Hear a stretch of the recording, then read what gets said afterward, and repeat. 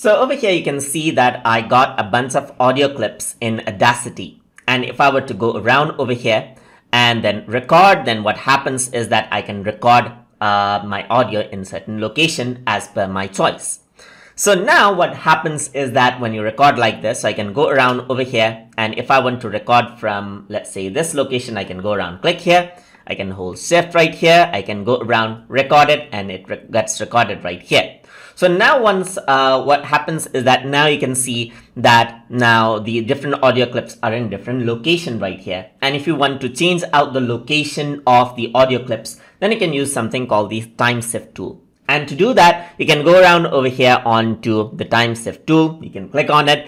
And then if I were to click and drag, you can see that now I can easily drag around the clips right here wherever I want. So you can see that this is the time shift right here. You can go around, click and drag this around and then rearrange it out just like this. You can see that this is the entire clip right here. So I can go around and then push it out, pull it out wherever I want.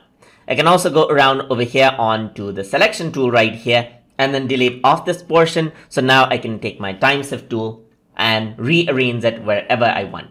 I can even click and drag uh, certain audio clips right here in different tracks as you can see right here so that you can rearrange uh, everything out right here keep them all together in the same track as well as you can see and then totally rearrange the audio that you have inside of Audacity.